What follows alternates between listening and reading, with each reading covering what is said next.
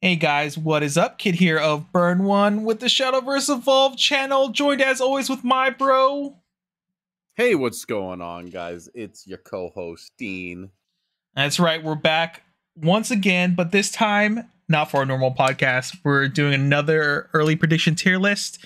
Uh, the Uma set just dropped.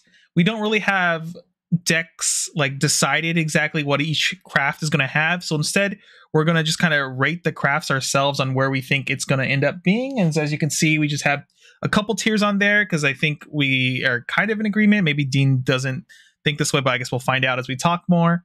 Uh, I think this meta is a little bit more open. I think there's more like two tiers and then like the rogue tier of like there's potential there, but we're like unsure of how good it is. Um, anything you want to add before we jump right into this, Dean?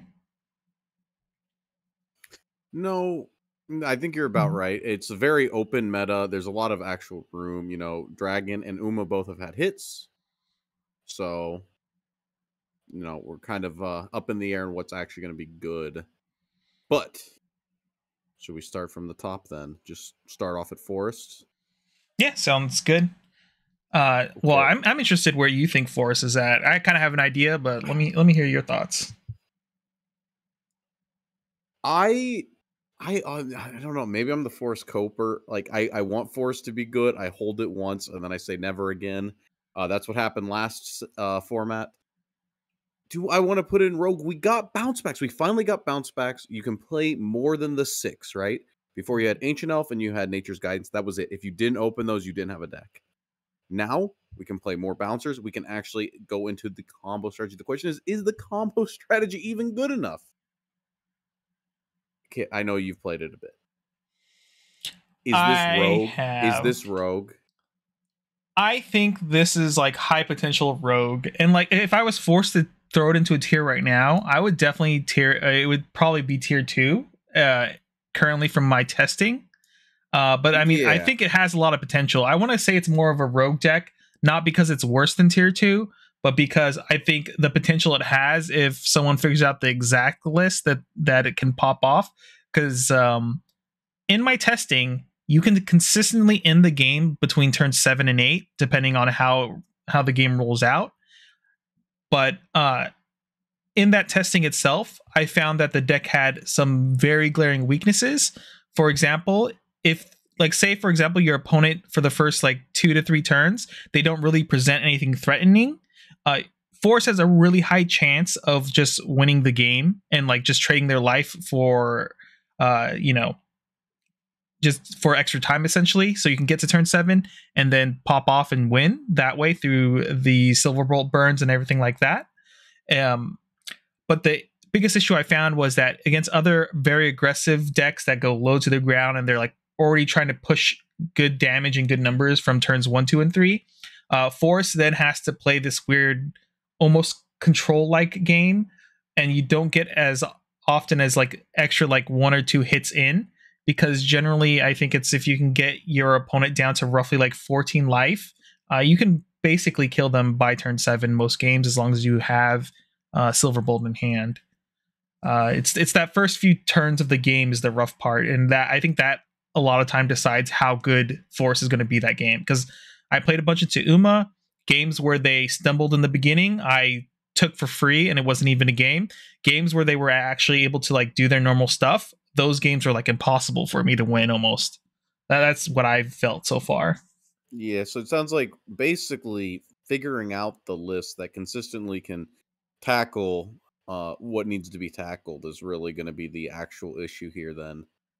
Um cuz is there a Forest list that can tackle Uma consistently? There might be. Like I don't know. I I don't I haven't like I haven't played around. It's got a pretty it's got a lot of cards uh that you know myself or you may have not been sleeving and uh maybe somebody out there will and they'll find a list and it'll be consistently good it'll be able to deal with boards and then like combo in the like maybe some of the later turns like i i, I think that's probably more of where i would try to go with Forest is a more like combo in the later turns hard control in the beginning with the combo pieces uh but ultimately i'm not even sure like how consistent that is so it's it's really up to somebody to crack this because Forest Forest is always that thing that like if if somebody can make the list, it could easily become tier one. But first, it's up to the players, and uh, I'm not the player.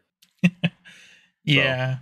I'm kind of in that boat too. And just for reference to, like, I mostly focus building around uh, the silver bolt burn package stuff. Um, so if someone wants to explore fairies, fairies might be or pixies, they might be really really good. I know when I was browsing through Twitter d- during the Uma time frame, uh, there were pixie lists that were going around a little bit at local level that were winning and doing decently. Obviously, during that time, though, the format was way different than what we're going to be experiencing.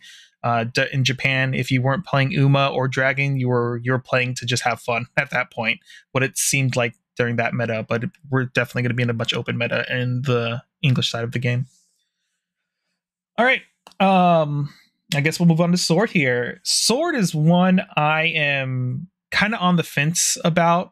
Uh, part of me is like, Sword is still always going to be good. It's going to be tier one. It got some okay added cards into it. Um, I know it got uh, Brian, I think is the name of the card. I think it's like an eight drop, right? That's really, really good. And then there was, I forget if it's a four or five drop. I think it's a five drop, uh, one of the horses. I, I wish I could remember the name right now but it also gets storm and, and does damage uh, when it comes into play. It's a very good control tool that when you uh, evo it as well, you can start swinging in immediately because it has storm, so you can add pressure that way. But outside of that, the package of sword is basically still kind of built around Leo. I don't know if anyone's going to explore outside of that. Um, there was only like a couple really good sword cards I felt uh, when we were looking at the uh, sword list during our review. What do you feel like, Dean? Uh, yeah, I think that I, I personally would put it into tier two because it, it has like a really bad Uma matchup, right? It and is is Uma is Uma just the overlord for this? Um, is I, Uma just the best deck? Because like I I want to say that Uma it, it, came in hot. It's got slightly overstated followers. Not I mean I I'm gonna spoil. I think that Uma's gonna go in tier one eventually whenever we get to that. But like Sword, when you have a bad matchup into like one of the more like popular decks, right, that just came out, that that's bad. Yeah. That, that's sure. that's really bad. And and that's like kind of my problem. But like it, it could be tier one. Like sword, sword is always good. Like sword is good. You kind of hit face and you win sometimes. Uh, but I, like if if Uma is like cracking your board and then like you don't answer one of their cards and suddenly they're pushing more damage than you, right? It's that, that's rough. That's real rough. Yeah, absolutely. I, I think I'm in agreement with you. I think the Uma matchup for Sword is a little bit awkward at times. Um, once again, I think it comes down to uh, which one of the players is going to stumble in the early game. I, I, feel like a lot of times if you're allowed an uh, like a turn or two to like set up, uh, and Uma can't like overbearingly dominate you that way through their utility, uh, then you can have a pretty even game where Sword has the opportunity to win. But there are times where Uma will high roll, uh, like their two drops and stuff, and then the game gets a little out of control if you can't answer it immediately. And that's one thing that Sword has issues with is we need to trade with followers.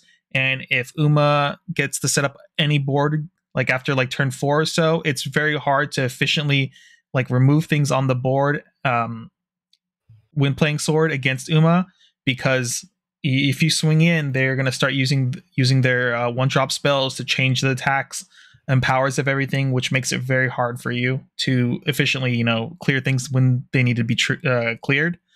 Uh, but I mean, sword is still very solid, and I, I kind of agree with you. If if we decided to have 1.5 tier, I would probably put sword at 1.5, but I'm definitely leaning more towards tier two on it. All right. Um, next, we'll have Havencraft. Want to talk about this one, Dean? Oh, Haven. Do you want to put this in tier one? Like that's that's the real question. Do you think this is a tier one deck? Uh, it's so hard. It's I think Haven once again is like caught in the limbo of being a one like tier 1.5. I'm a little bit Haven biased because I've been playing so much Haven uh, since set one. I do think it has the tools to be tier one. I don't know if it deserves to be tier one though um i i would be okay like putting this to tier two and like i i don't know if i would really fight anyone to put it in tier one that's that's how i feel about it Mm. Yeah, I can I can see that, but like my my thing with Haven is when watching Uma, and I could be wrong, I could be wrong, but when watching Uma, it looks like the choke point for Uma is being able to like deal with like its big boards like maybe two plus times in a row. Mm-hmm. And with Haven, we're able to do that. Then we're able to put down the Heavenly Aegis, and they just probably can't answer it. So just, you know, going a little bit heavier on the removal, maybe like modifying the Texas list, maybe playing the Kaguya and a couple other cards, putting some Themises in, and still having an Aegis at the top end. It's something like that. Seems like it'd be a pretty good deck into Uma. And it really does come down to will Americans like Uma enough to be playing it? That that is the question. And if people are, and Uma is going to become a huge part of the meta, I think that Haven has a good matchup into it. Also, Haven, like Haven, almost can't lose to Sword. Let's be honest. Oh, absolutely. I think Haven has a very good matchup in the Sword. Uh, so if we're gonna like say uh, Sword is like tier one point five or even one, Haven definitely has a good matchup into it. I think like what you just said, uh, Haven ha- can have a good matchup into Uma the big thing being like being able to clear the board twice is a very good way. Um, like you said too, I think playing Kaguya and Haven into Uma is very powerful. Uh, some of the things I've noticed from gameplay with Haven is like you said, if you only get one clear and you don't find the second one, you can lose the game that way. A lot of your games come down to uh, doing the double clear or just stabilizing long enough to be able to get to the Aegis, and then you can win games that way. Um, but generally, like I don't even think Haven got much support with the build I think is going to be popular um, from the Uma release. Also, we're still kind of stuck in the set two stuff for the most part. But I'm also very afraid to be like, yeah, Haven is definitely tier one because I'm not. The only matchups I've really seen it be played into is literally Uma, and I haven't seen it really played into everything else just yet with all the new Uma support. Um, so I'm I'm not hundred percent sold on all the matchups just yet, but I, I could see this being tier one, honestly. If we're expecting a very heavy Uma meta, um, I, I think Haven is like kind of like the good the good like how do I say? I think kind of like the uh it keep this is the deck that will keep like Uma in check, basically. If that makes sense, right? Yeah, it's like one of the ones. I think yeah, that there, there's a couple for sure. Wait, go ahead. yeah, there's a couple that can like consistently deal with wide boards. Do you want to throw this in tier one then, or should we leave this in top of tier two? Uh, Top of tier two is fine. I mean, Okay. it, it could become tier one. It's a very strong deck, right? I mean, we still Mhm. have the Aegis win condition. Uh, the Kaguya deck, it feels so rough to pilot, but it has been getting there. So maybe that core is just good enough.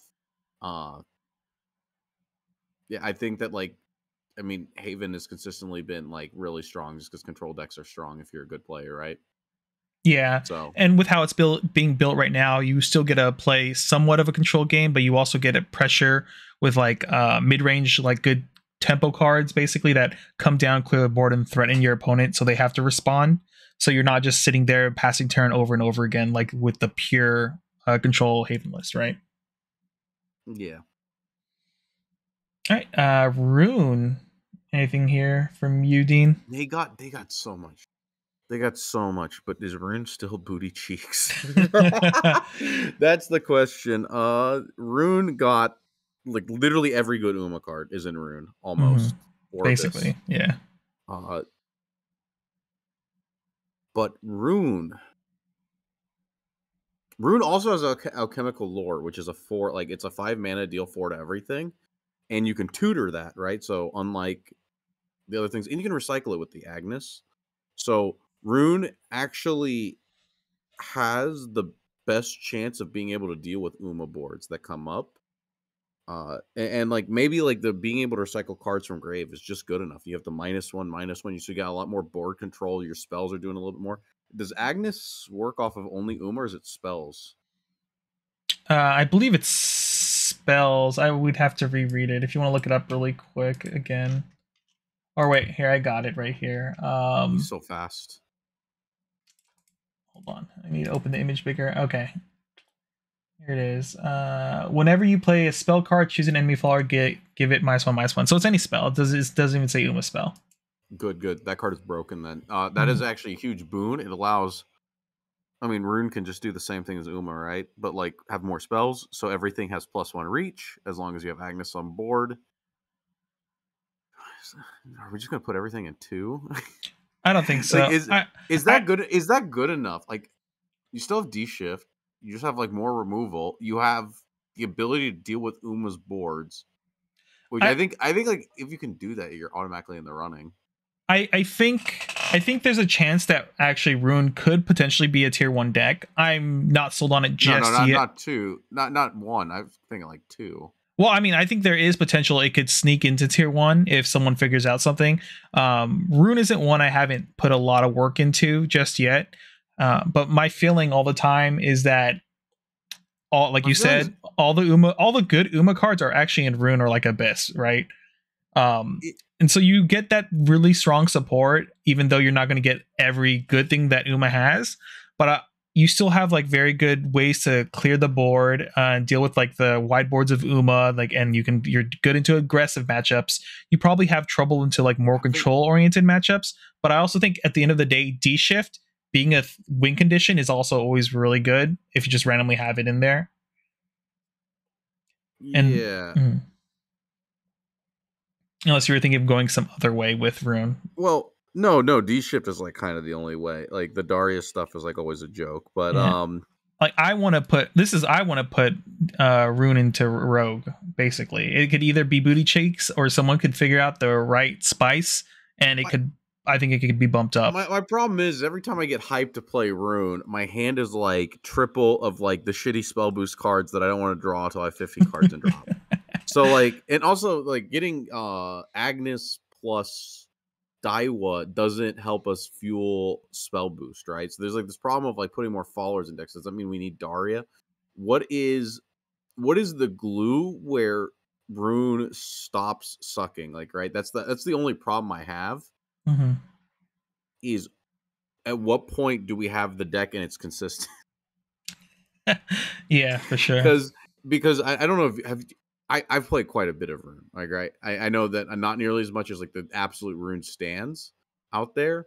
But whenever I play Spell Boost, I am literally horrified by the hands that it can produce. So it's and ultimately I think the problem is this is a best of one game, right? Best two out of three, like you'd have a hand like that, you go, okay, but next hand's gonna be sick, right? But when Yeah. it's best two out of three, you go, oh no, I lost, and now I'm in uh I'm in the the X one bracket, and suddenly I can't win the tournament. So that that's the real problem. Yeah, I, I can I can agree with that. Like it, it's very weird. I guess maybe it's not that weird, but to say that Rune, a lot of Rune's ability comes down to or consistency comes down to like random draws, right? So like yes, you can get lots of draws going, but you're still like slave, uh, almost a slave to like what you top deck, right? You yeah, just- sometimes the uh the top like 15 cards are horrendous, and then the game is over instantly. Yeah, and I mean, obviously, any that can happen to any deck, but it's it feels. I always feel like Rune from like I've only played a lot of Rune in set one, and I kind of dropped it after that because I'm waiting for Kuon to come out. Um, during when I played those during that time, it it always felt like I had to like dodge and weave and figure out paths to get to the part uh, where I win the game. I mean, you saw it on like stream. Like, I, yeah, my deck didn't play Merlin, but like you watch a sorcery cash hit like uh imagine Daria's a, a Merlin, right? And like a sorcery cash hit like Merlin, Golem, like Rune Blade, and suddenly I like don't get my spell boost up, and I wasted two mana, and nothing happened, and I'm Mhm. sad, and it's raining outside. I have green hair, like right. It's like Yeah. it, it, it can be rough out there. It can be rough out there and playing Rune. yeah, I, I'm kind of okay with putting in a rogue. Are you cool with rogue, or do you think it should go Yeah, actually be okay?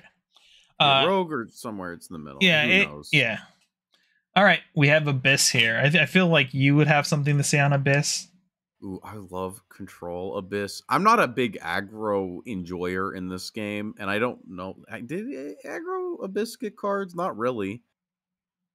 Not Mm, really, right? no not really i think whenever i looked at like the really hyper aggressive aggro list it didn't play m- many uma card new in new uma cards it's mostly got- set two stuff Yeah, we got another card that says your opponent discards a card, which is insane because that means that between Olivia, that, and Azazel, we can probably rip like most of our opponent's hands. Uh, what else did we get? We got the. I'm like holding some Uma cards in front of me real quick.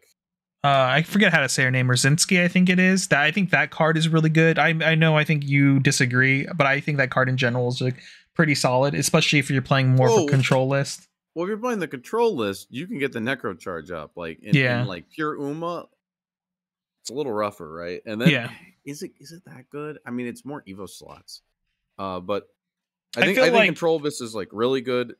You get Mhm. the uh well probably not you probably can't play the kill spell if you're just playing like actual abyss. Some of these cards are bad.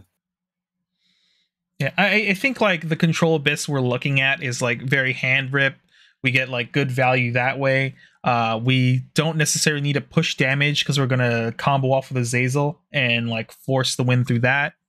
Yeah, plus Yeah. like storm damage. Like it, that that, that core at the end, it's just our control pieces in the middle are better.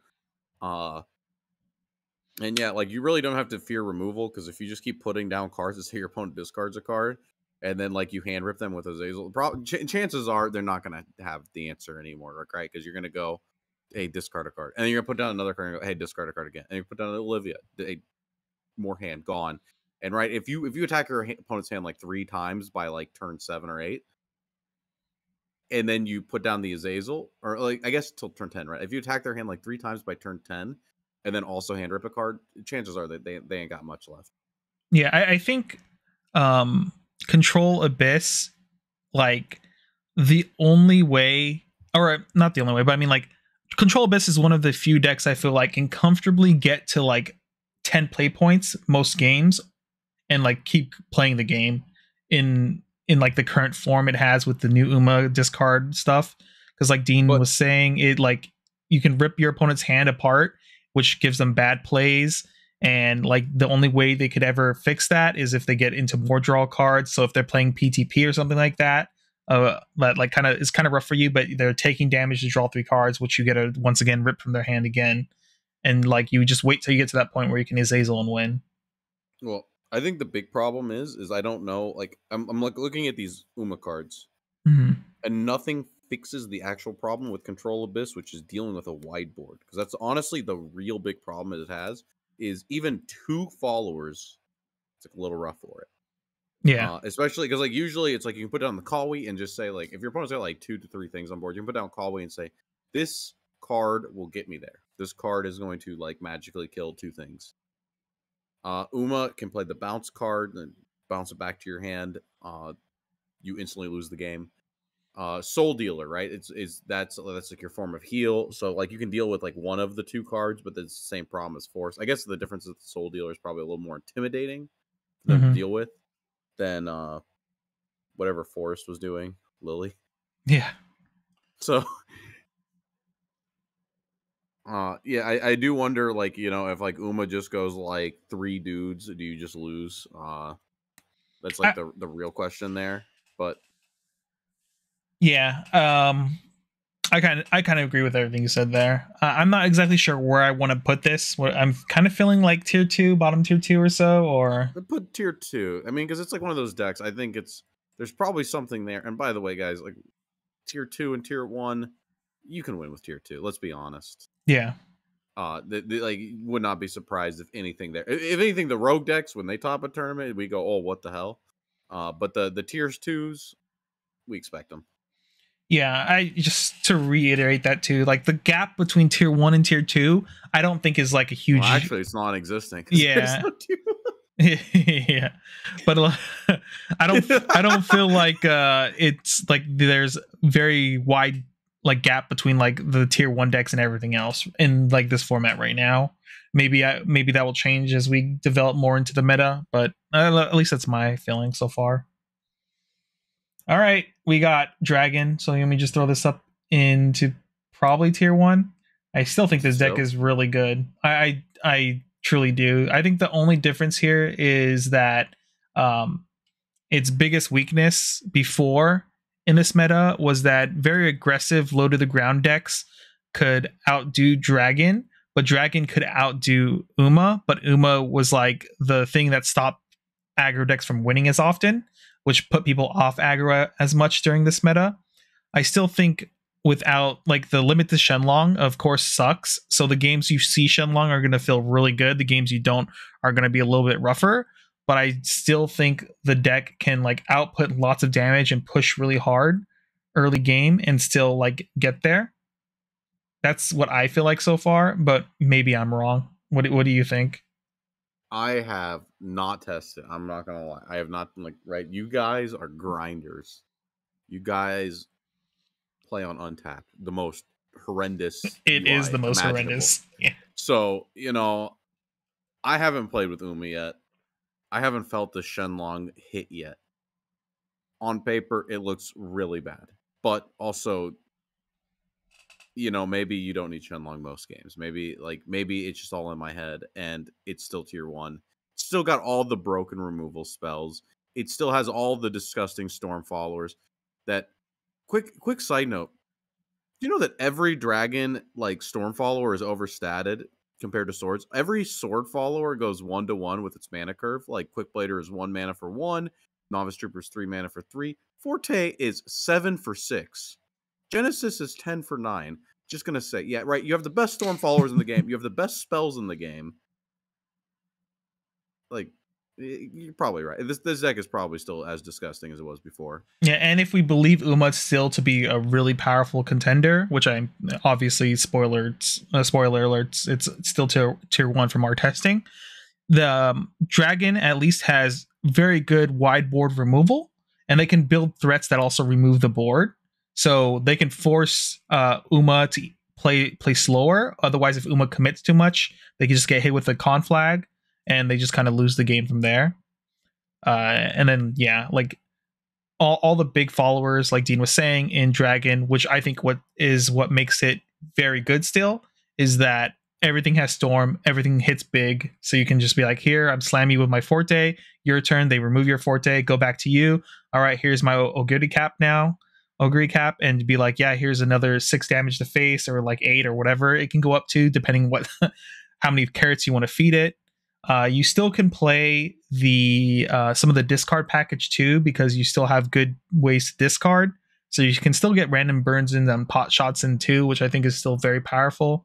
Um, I I definitely think people need to test and build the deck to like come to their own conclusion on where they think Dragon is, but at least I, I think it's still tier one. Yeah, super solid crap. It's actually just complete bullshit, but that's okay. uh, It's okay. We have this other bullshit here. I just moved this up to tier Uma, one already. Uma's fine. Yeah, Uma. Look, if you bitch and moan because Uma's good, it ain't getting support. This is it. Every set after this, it just gets a little worse. Yeah, it drastically falls off after this, especially since we've already have the uh, the nerf to Uma because of the restrictions. I don't think Uma is going to survive past this meta. Like people will probably still show up, play it at locals, and do well at locals occasionally. Uh, but I think at once we go into a more open, bigger tournament formats, when they have hopefully next year, it's all open events. I think Uma representation is going to fall very hard. But right now, Uma's very powerful. In, in my head, uh, when set three comes out, the restriction will be lifted. That that's in my head what would happen. That might that might be a thing that does happen. I we're not obviously we we can't we're not like that that's speculation, future, but, but, yeah, that, that's speculation that makes sense to me. That that's like little you know heads up. That's probably what will will happen is my guess, but you know that's definitely not confirmed. Uh but yeah, so at least we can talk a little bit about what makes Uma tier one still.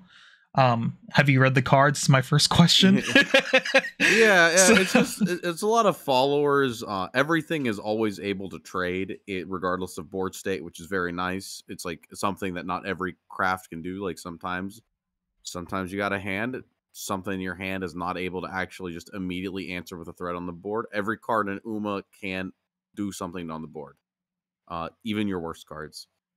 So there's that part. And then yeah, the Daiwa Scarlet plus the vodka means that at any point, like a, a guy that you left up becomes a threat, right? That that's the big thing. Just like a lot of tutor, a lot of uh, recursion, uh, cards that if you don't deal with, kind of hose you, like the Agnes, being able to go minus one, minus one, making uh everything have even more reach, and everything is also like rewards you for playing Uma, like right. The removal spells cost less, or they do more damage for playing Uma. And then if you have like a different Uma follower like Agnes on board, suddenly it's not only doing like one extra damage for one mana, but suddenly you have a basically a blazing breath. Right? That's the way it works. The the uh the, what is this Yeah. do? It's like if you have a racing follower. Yeah. Yeah, if you have a racing follower, deal three damage. But if you have an Agnes on board, it's like four damage, which means you have a one mana blazing breath as early as like turn three, right? Yeah, absolutely. And then another big thing about Uma, so like uh what makes it really disgusting is once they set up their board and they have I believe her name's Daiwa Scarlet on the board, Yeah. uh even if they're tapped out, you still have to play around quick spells because it makes per turn one of your spells one of the spells uh costs one less and that's on your turn and opponent's turn. So when you're swinging into uh, their board and they have zero play points open, you still have to go, huh? Do I lose if they have that spell in hand that normally costs one, but it's zero now? That is very, very rough. Also, if you haven't seen, what's up? has the name of Lamplit Training of a Witch to Be. Yeah, that's okay. and then I, I just think it's. It's long name. and then um once they get their board going it starts like every key piece helps the other pieces just be 10 times better. And then once they start casting spells when they have like the three follower board set up uh they're they go from going wide to also building up taller basically. So not only do you have to deal with like three plus followers on the board every turn they stay there uh the followers get bigger and bigger until you can no longer deal with them that's why you know having board clear in this meta going against Uma is very very important. Another thing as well is that you can't play you can't always play a deck that just plays a big thing against Uma because they do have lots of very good answers for like uh bouncing things to hand through their Uma followers, uh you know, putting minus one minus one counters on things. There have been times where I've had followers on the board with zero attack because they've put yeah i've uh, they've uh, they played a spell every turn and my like my three three is now like a zero or three four is like now a zero one on the board and they could just leave it there because it's not going to ever do anything for the rest of the game so i have to forcibly remove the card myself by crashing into other things it, it's it's pretty annoying and i think for a lot of people who haven't played into uma and if they play against someone who has experience with uma they're gonna hate it a lot in the beginning until they get used to the matchup but yeah, I think this kind of wraps up our tier list thoughts. I'm interested to, to see what everyone else thinks. So, I mean, comment below. Let us know if you think we're on the nose or we're totally lost our minds. I- Can't believe the first Uma meta. Like, is it Cali, uh, no, Texas. Or no, tech, tech. Texas. Oh yeah, Texas. Yeah, te- no, no. Texas? Yeah, yeah, it's Texas is the first one because California. The next Whatever. week is still set two for California Yeah. Whatever LCQ it's gonna be, it's gonna be four fours, four runes, and top eight, and we're gonna look silly. Okay, we're gonna look silly, but this is probably pretty close. Very vague. That's for sure. Uh, I think that kind of like wraps up everything for us. And do you have any last minute thoughts, Dean? You want to get out there before we say goodbye to everyone? No, thanks everyone who stuck with it. Uh, like, comment, subscribe. You know all that jazz. And until next time, hopefully we can get you guys some of these decks. Yep. Uh, that'll be it from us, guys. We're signing off later.